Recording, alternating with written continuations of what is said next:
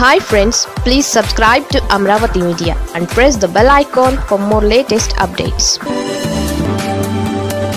కడపలో షర్మిలా సీన్ మార్చేసిన వైఎస్ భారతి. ఏపీలో ఎన్నికల వేళ కడప రాజకీయం ఆసక్తికరంగా మారుతోంది.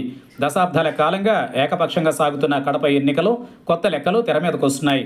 కడప ఎంపీగా పీసీసీ చీఫ్ షర్మిల పోటీ చేస్తున్నారు. ఇప్పటికే తన అన్న జగన్ లక్ష్యంగా షర్మిల ఆరోపణలు చేస్తున్నారు. టీడీపీ బీజేపీ జనసేన కూటమి నేతలు జగన్ ఓటమి లక్ష్యంగా ప్రచారం చేస్తున్నారు. ఇదే సమయంలో పులివెందల నుంచి భారతీయ ఎన్నికల ప్రచారం ప్రారంభించారు. ముఖ్యమంత్రి జగన్ సతీమణి భారతి పులివెందులలో ప్రచారం చేస్తున్నారు. ప్రతి ఇంటికి వెళుతున్నారు. ఐదేళ్ళ కాలంలో జగన్ తీసుకున్న నిర్ణయాలను వివరిస్తున్నారు. వారి సమస్యలను అడిగి తెలుసుకుంటున్నారు. వైఎస్ జగన్ పాలనలో ప్రజలంతా చాలా సంతోషంగా ఉన్నారని ప్రజలందరికీ మేలు జరగడం ఆనందంగా ఉందన్నారు.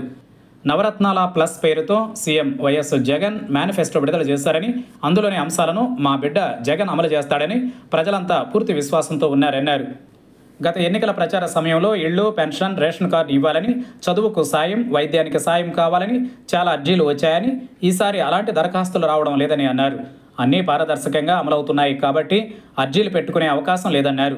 వైఎస్ జగన్ ప్రభుత్వంలో మహిళా సాధికారత చాలా బాగుందని అది కొనసాగుతుందని చెప్పారు. ఇదే సమయంలో ఎంపీ అభ్యర్థిగా అవినాష్ వైసీపీ నుంచి పోటీ చేస్తున్నారు.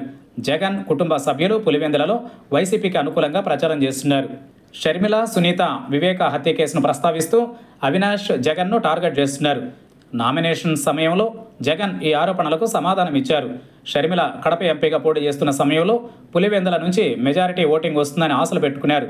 అక్కడ ఎమ్మెల్యేగా జగన్కు ఓటింగ్ జరిగిన వైఎస్ కుమార్తెగా ఎంపీగా తనకు ఓట్లు దక్కుతాయనే అంచనాతో ఉన్నారు. అక్కడ అవినాష్ ఓటింగ్ తగ్గించాలనే వ్యూహంతో పనిచేస్తున్నారు. అయితే భారతితో సహా వైఎస్ కుటుంబ సభ్యులు ప్రచారం వేళ ఓటర్ల మూడ్ స్పష్టమవుతోంది. పులివెందులలోనే షర్మిల ఆశలపైన భారతి నీళ్ళు చల్లుతున్నారనే ప్రచారం స్థానికంగా మొదలైంది.